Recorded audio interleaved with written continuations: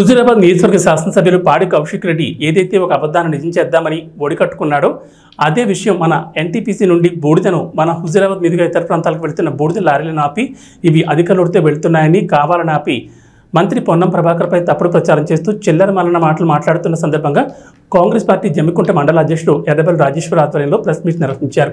ఈ కార్యక్రమంలో నియోజకవర్గ యూత్ కాంగ్రెస్ అధికార ప్రతినిధి మహమ్మద్ సజ్జు ఎస్ఎస్ఎల్ మండల అధ్యక్షులు రాతపల్లి రమేష్ దొగ్గల భాస్కర్ మాదారపు లింగారావు శ్రీనివాస్ రవీందర్ రెడ్డి కడిపికొండ తిరుపతి రెడ్డి ఎన్ఎస్వీఏ మండల అధ్యక్షులు సుధీర్ మరియు తదితరులు పాల్గొన్నారు.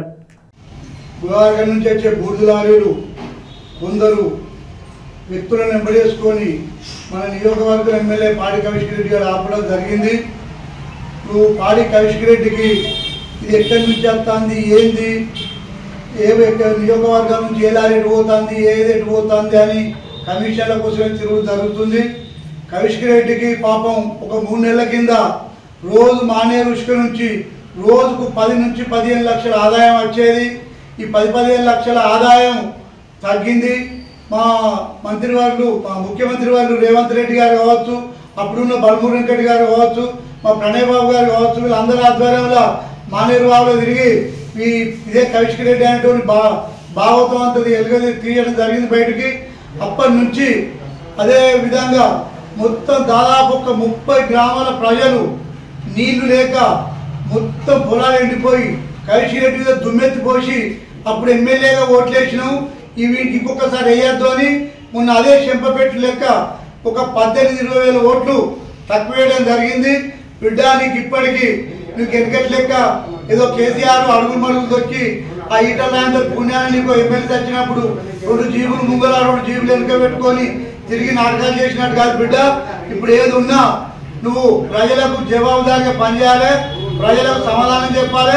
ఆ పద్ధతిలో మేలాలి కానీ మా ఉత్తముడు పొన్నమన్న తెలంగాణ ఇచ్చిన మంత్రి వాళ్ళు పొన్నం ప్రభాకర్ గారిని అనే స్థాయి అనేది ఒక మూడు నాలుగు సంవత్సరాలు పొన్నమన్న ఏడుంటాడా చేతులు కట్టుకుని లేవాడి తిరిగిన కౌశిక్ నువ్వు.